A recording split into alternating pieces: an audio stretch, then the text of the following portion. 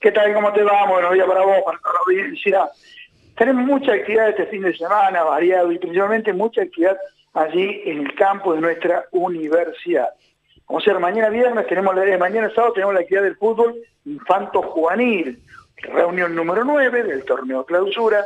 Van a jugar allí en el campus los equipos de nuestra universidad y también va a recibir la visita de Ateneo Vecino de General Cabrera. Categorías infantiles son la 2008, 2009, 2010, 2011 y 2012. Y los juveniles, la sub-13, la sub-15 y la sub-17. También mañana tenemos la actividad del ajedrez, el juego ciencia, el torneo Blitz, torneo rápido. Esto se va a realizar en la Sociedad Española, allí en la Fodigan al 60, a partir de las 14 horas.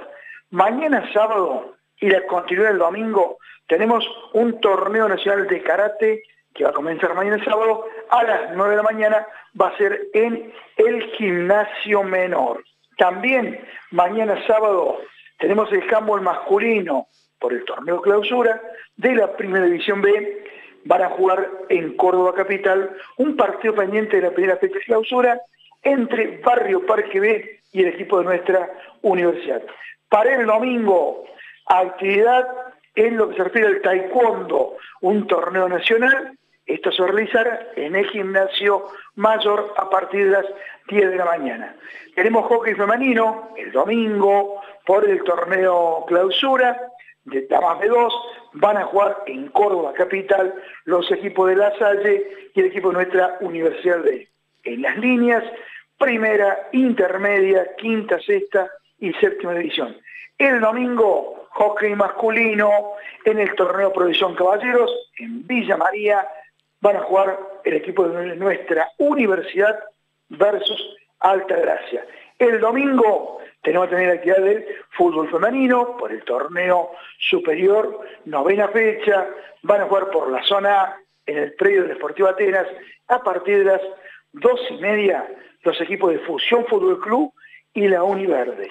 Y por su parte en la zona B, en Vicuña Maquena, a partir de las 12 horas, van a jugar allí San Martín versus el equipo de la Uniblanco. Y recordamos que tenemos lo que es la primera edición del Rally Bike allí en el campus el próximo domingo con más de 200 participantes ciclistas de todo el país del mountain bike van a estar en esta primera edición del Rally Bike que es organizado por la Comisión Normalizadora de la Federación Ciclística del Sur Cordobés. Cobertura del Radio Universidad a partir de las 12 de mediodía del domingo, Gabriel. Como no podía ser de otra manera, Dardo, y te saco un poquitito de lo que es el deporte universitario para hablar de la cita de gala de esta noche, ¿no? Por la Primera Nacional, estudiantes frente a San Martín de San Juan.